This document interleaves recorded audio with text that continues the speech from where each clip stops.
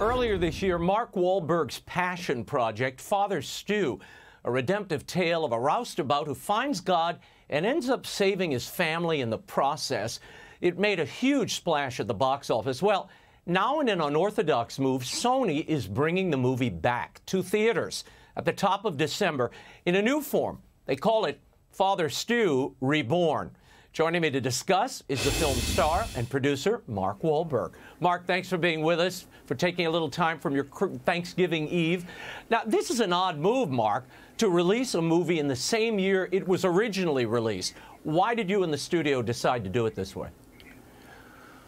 Well, given the nature of the, the R-rated movie, uh, lots of families didn't feel comfortable uh, with their children seeing it, but they really wanted them to get the message.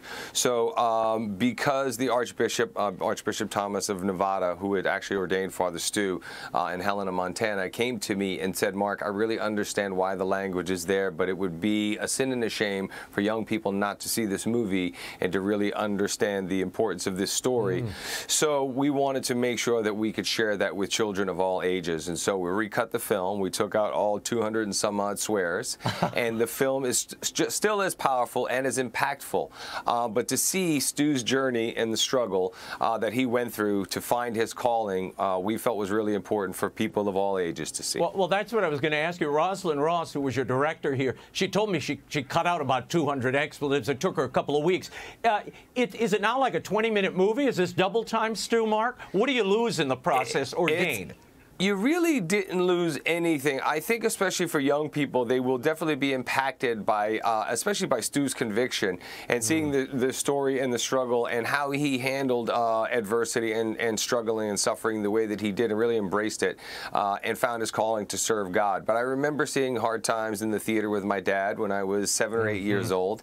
Had a profound effect, impact on me, and it didn't have any bad language. It did have bare knuckle boxing. Mm -hmm. But I think then it will allow children to then go and see the movie in the way that it was originally intended uh, when they get a little bit older and it's more age appropriate for them. Hmm. Why do you think it's important for kids and families, particularly boys, to see this movie now, Mark? I know that was a goal for you, that, that young boys should see this with their dads.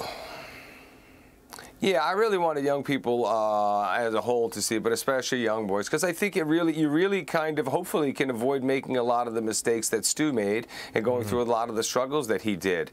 Uh, I think you know it's it's a brutally honest depiction of somebody who's struggling, trying to find their own way, trying to find their calling, and kind of going through the hardships, especially living life um, and expressing anger in a way that is not really productive. I think Stu, mm -hmm. uh, if he had a chance, like all of us, to go back and do it differently, we would, but we want to prevent kids from making a lot of the same mistakes that we made, certainly mistakes that I made. So anything yeah. that we can do to kind of show them an easier path to uh, to serving God and just being positive, productive members of society and the community, and especially in the church, and, and, and gravitating towards their faith, whether that's Catholicism or Judaism or, or Islam or, or Buddhism or, or any other form mm. of faith. Mark, Father Stuart Long was an actual person. This is based on a real life story, uh, one that I hadn't heard before you showed me this film the first time.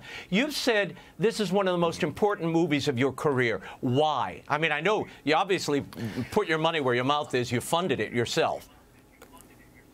Yeah, but I, you know, I, have always gravitated towards the true stories, and I've, I've made mm. quite a few of them, and I feel like they've always had the most impact on, on people and audiences. But this film, especially, has touched so many people, and it's reminded them about what life is really all about. And we all deal with hardships, we all deal with loss, uh, and and the inevitable. But how you cope with those things, and how we're treating and interacting with one another, and especially in this day and age when there's so much divide, this is a movie that really brings people together. Yep. We want to love and support people. We want want people to know that they're not forgotten. We've all made mistakes and that nobody is beyond redemption. And yeah. again, we want to spread a lot more love and a lot more acceptance. Well, Mark, what I love about it is you have a family that shattered at the beginning.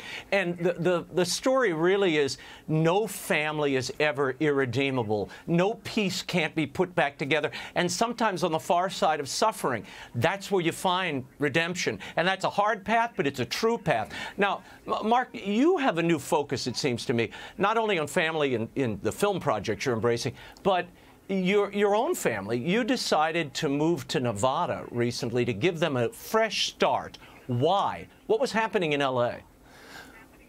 Uh, well, we had one child who was, you know, um, kind of being. I would. She's she's on, in an amazing place now, so I don't want to put her or her business out there. But Yeah. you know, it was a challenge. It was a challenge growing up uh, with a celebrity name. It's a challenge growing up under Mm-hmm. the spotlight, and we just wanted to give our chance uh, kids the best chance to be successful, and they've been thriving in a new environment. Um, you know, there's Yeah. a lot of pressure being attached to to me and, and and that sort of thing. I just wanted them to have their own space and their own place, and they've been doing amazing. Um, you know, it is possible to raise uh, healthy, happy children anywhere, and it's also uh, no real safe place to avoid drugs and peer pressure and all of those things that come along with being a young, impressionable child.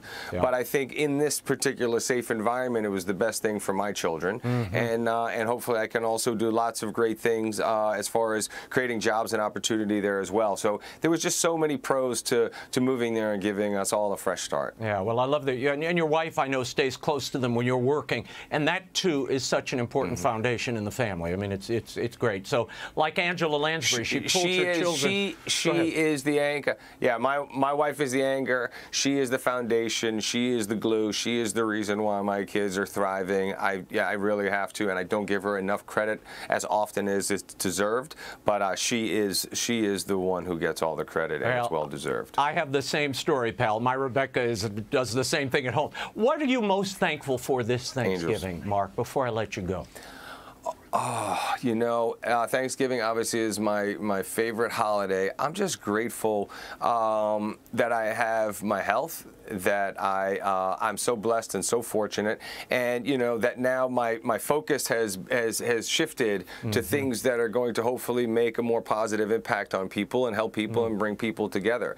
Um, you know, that I was able to make my parents proud before they passed. I have so many reasons to be grateful. I really do. I, I wear out the you know the cloth on my on my pajamas every morning, uh, expressing my gratitude.